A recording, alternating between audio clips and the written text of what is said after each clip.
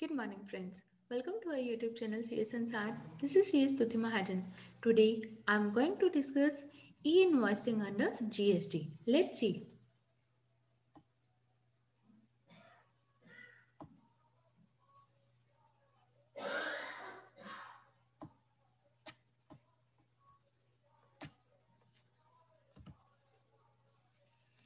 Let's see.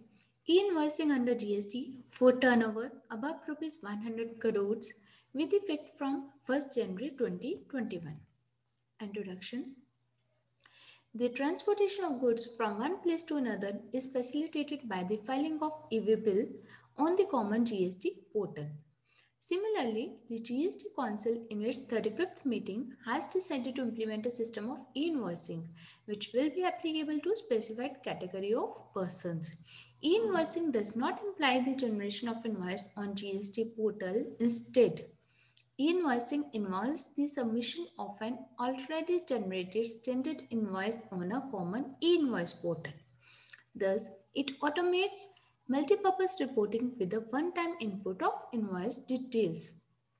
तो basically जब भी हमने गुड्स की मूवमेंट करनी है तो वो किसके थ्रू हो रही है ई वे बिल के थ्रू तो देन उसके बाद क्या आया ई इनवॉइसिंग तो ई इनवॉइसिंग क्या है? This is not the generation of invoice नहीं है. इनवॉइस आपको अपना ही बनाना है. तो वहाँ पर ई इनवॉइस पोर्टल के ऊपर जाकर आपको अपना इनवॉइस सबमिट करना है, जिससे कि आपको एक वहाँ पर GST portal e invoice portal से आपको एक नंबर मिल जाएगा। Update as on 10th November 2020 via notification number 88 by 2020 dated 10th November 2020 तो नोटिफिकेशन नंबर 88 बाय 2020 जो कि टेंथ नंबर को आई है, वो क्या कहती है? The taxpayers having an aggregate turnover exceeding rupees 100 crore should implement e invoicing from first January 2021 तो जो भी टैक्स पेयर्स हैं, जिनकी 100 करोड़ से क्रॉस कर गई है टर्न ओवर तो उनके ऊपर ई इनवॉइसिंग एप्लीकेबल हो गई है नए साल से। From 1st January 2021, the government has mandated e-invoicing for the taxpayers with aggregate turnover exceeding rupees 100 crore. तो जैसे ही आपकी जिस भी एस की टर्नओवर जो है वो 100 करोड़ को क्रॉस कर गई है तो उसके ऊपर ई इनवॉइस एप्लीकेबल हो गया है ई इनवॉइस मैंडेटरी हो गया है फ़र्स्ट जनवरी 2021 से अब जो हमें टर्नओवर देखनी है 100 करोड़ कब in any preceding financial from 2017-18 onwards 17-18 में हो जाए 18-19 में 19-20 में या फिर करंट ईयर में। जैसे ही आपकी 100 करोड़ जो है वो टर्नओवर क्रॉस हो गई, आपके ऊपर इनवॉइस एप्लीकेबल हो गया फ़र्स्ट जनवरी 2021 से। This is the notification notification number 88 by 2020 early notification अब हम देखते हैं जो पहले नोटिफिकेशन आई थी update is on thirty July 2020 via notification number 61 by 2020 तो उस नोटिफिकेशन के अंदर क्या कहा गया था? E invoicing system shall apply to those taxpayers with annual turnover exceeding rupees 500 crore जो पहले नोटिफिकेशन आई थी, जिसके अंदर कहा गया था कि ई इनवॉइसिंग जो है वो एप्लीकेबल हो गई है। वो किन एसेसिस के लिए हुआ था? कौन से टैक्स पेयर्स जिनकी टर्नओवर 500 करोड़ से ज़्यादा है, उनके लिए एप्लीकेबल हुआ था। लेकिन with effect from first January 2021 से उन्होंने उस 500 करोड़ की लिमिट को करके डिक्रीज क्या कर दिया है? 100 करोड़ डैट मीन्स अब बहुत सारे एसेसिस उसके अंदर कवर हो जाएँगे। और उस नोटिफिकेशन के थ्रू उन्होंने सिस यूनिट्स को भी एग्जम्प्ट किया था। अब हमने ये तो बोल दिया है कि ई इनवॉइस जो है वो एप्लीकेबल होगा फ़र्स्ट जनवरी 2021 से। तो अभी हम देखते हैं कि what is e invoicing e invoicing और electronic invoicing is a system in which B to B invoices are authenticated electronically by the GSTN for further use on the common GST portal Under the electronic invoicing system, an identification number will be issued against every invoice by the IRP to be managed by the GST network. जो हमने invoice अपना बनाया है उस invoice के details हम देंगे IRP के अंदर ई इनवॉइस पोर्टल पे हम अपने इनवॉइस के डिटेल्स देंगे। जैसे हम अपनी इनवॉइस की डिटेल्स देंगे तो वहाँ पर हमें जीएसटी के थ्रू हमें एक नंबर जो है इनवॉइस का नंबर मिल जाएगा। तो वो नंबर जो है, वो मैंडेटरी है। उस नंबर का प्रूफ है कि ये वाले गुड्स जो है, हमने इसका सेल इनवॉइस जो है, वो काटा है। The first IRP was launched by the National Informatics Center at invoice1.gst.gov.in. All invoice information will be transferred from this portal to both the GST portal and e-bill portal in real time. सबसे पहले हम क्या करते हैं? Invoice बनाते हैं। जैसे हमने इनवॉइस बनाया, हमने उस इनवॉइस का जो था, वो ई इनवॉइस पोर्टल के ऊपर उसका डाटा दे दिया।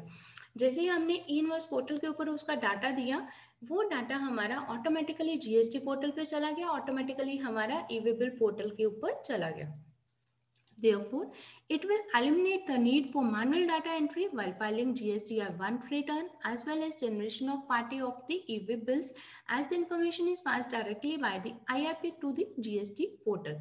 तो जैसे ही हमने आई पोर्टल के ऊपर वहाँ पर अपनी डिटेल दी इनवॉइसिंग के लिए वहाँ से वो डाटा जीएसटी के पोर्टल के ऊपर चला गया और ई बिल के लिए भी वो डाटा चला गया how will electronic invoicing benefit businesses अगर ई इनवॉइसिंग हो गई फ़र्स्ट जनवरी 2021 से 100 करोड़ की टर्नओवर के ऊपर जो भी एसेसेस हैं, जो भी टैक्स पेयर्स हैं, उनके ऊपर एप्लीकेबल हो गया तो इसकी वजह से ई इन्वाइसिंग की वजह से क्या बेनिफिट क्या होगा? तो अब हम देखते हैं सबसे फ़र्स्ट बेनिफिट क्या है। Invoice resolve and plug a major gap in data reconciliation under GST to reduce mismatch errors. तो सबसे पहले डाटा रिकन्सिलेशन में आपको ईज हो जाएगी। Invoices created on one software can be read by another, allowing interoperability and help reduce data entry errors. तो data entry errors जो है, वो आपके डिक्रीज हो जाएँगे। आपने लेटेस्ट सपोज़ एक सॉफ्टवेयर पे कुछ अलग डाटा दिया, दूसरे के ऊपर आपने गलती से आपके क्लरिकल मिस्टेक हुए कुछ और दे दिया। तो इसके अंदर क्या होगा, एक के अंदर जो आपने डाटा दिया ऑटोमेटिकली सब जगह वो लिंक होके वही डाटा आपको मिलेगा। Time tracking of invoices prepared by the supplier is enabled by invoice जैसे ही आपने इनवॉइस प्रिपेयर किया, आपको उसका इनवॉइस जनरेट करना ही है तो मीन्स रियल टाइम ट्रैकिंग उसकी हो जाएगी। आपको ऑटोमेटिकली आपने इनवॉइस बनाया, उसको पोर्टल के ऊपर डाला तो आपका वहाँ पर इनवॉइस जो है वो जनरेट हो गया। अदरवाइज़ आप क्या करते हो? हो सकता है गाड़ी निकाल दी इनवॉइस आपने हाथ से काट दिया, कि बाद में हम लोग उसका फाइनल इनवॉइस बाद में काट लेंगे। कुछ केसेस में मतलब करते हैं कई बार backward integration and automation of the tax return filing process The relevant details of the invoices would be auto-populated in the various returns, especially for generating the party of e-bill. Same way में एक जगह आपने data दिए है उस data को जहाँ जहाँ जाना वो ऑटो पॉपुलेट हो जाएगा। Fast availability of general ITC तो अगर आपका वहाँ पर आईटीसी बनता है तो वो आपको जल्दी मिल जाएगा क्योंकि जिसने सेल इनवॉइस काटा, उसने सेल इनवॉइस के ऊपर आपका जीएसटी का नंबर जो भी सेसेस वो सारे मेंशन कर दी डिटेल्स तो जिसको आईटीसी लेना उसको वहाँ पर वो आईटीसी वो क्लेम कर पाएगा timely how will invoicing curb tax evasion अब हमने ये तो पढ़ा कि इनवॉइस आ जाएगा। इनवॉइस आने से ये बेनिफिट्स होंगे और इसका एक और बेनिफिट है कि टैक्स इवेजन को क्यूर किया जाएगा। अब टैक्स इवेजन को कैसे रोक सकते हैं It will help in curbing tax evasion in the following ways.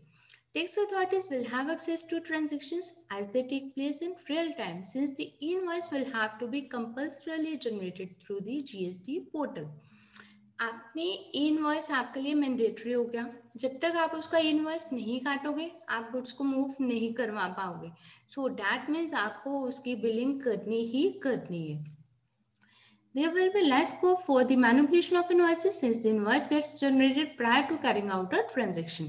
एक बार आपने इनवॉइस काट लिया, उसका आपका इनवॉइस आपने उसको मैंडेटरी हो गया। जैसे आपका इनवॉइस बन गया इनवॉइस की वजह से आपका डाटा जो है वो पोर्टल के ऊपर आ गया।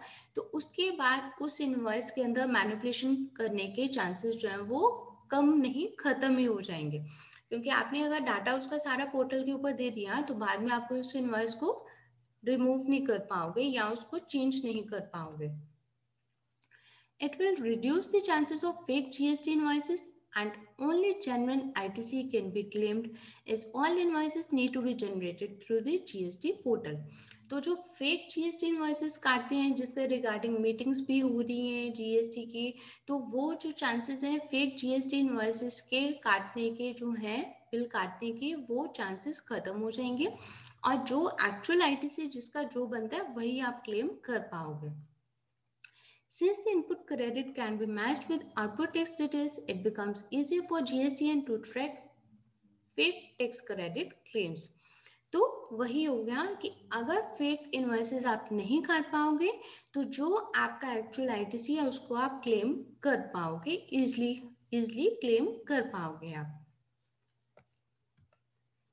so this is all for today but one thing आपको क्या ध्यान में रखनी है, अगर आपकी खुद की टर्नओवर या आपके क्लाइंट की टर्नओवर जो है, वो हंड्रेड करोड़ को क्रॉस कर दी है तो फ़र्स्ट जनवरी 2021 से आपके ऊपर इनवॉइसिंग जो है, वो मैंडेटरी हो गई है तो आपको उसी के अकॉर्डिंगली अपने आप को प्लान करना है, उसका सारा सब कुछ तैयार करके उसकी सारी ट्रेनिंग दे देनी है अपने क्लाइंट्स को, अपने जो भी स्टाफ है, उसको दे देनी है कि ताकि फ़र्स्ट जनवरी 2021 से आप इसको एप्लीकेबल करवा पाओ So this is all for today. Thank you for watching this video. Please subscribe to our YouTube channel CS Ansar. Till then, keep following CS Tuti Mahajan, CS Ansar. Thank you.